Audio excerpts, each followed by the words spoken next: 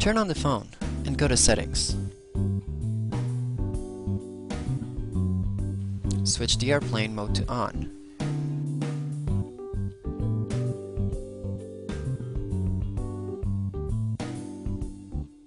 Next, go to Wi-Fi settings and make sure to switch them to off.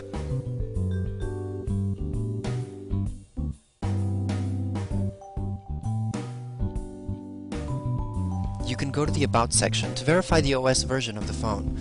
It should be 7.0.7008 before you can apply the March update. Next, connect your phone to the computer via USB. If Zune doesn't start automatically, go ahead and open it manually. Then, right-click on the network icon and select Open Network and Sharing Center. Resize the windows to avoid overlapping. On the top right corner, select Change Adapter Settings. On Zune, click Settings located next to your ID name on the top. Under Settings, click Phone.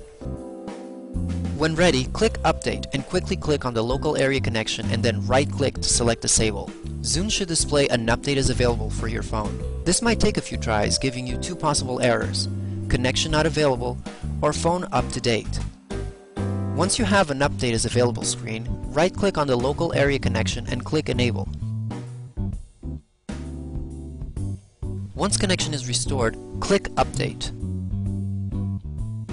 Follow the on-screen steps and instructions. Depending on your connection and use storage, the update can take between 10 to 50 minutes. Your phone will restart multiple times through the process.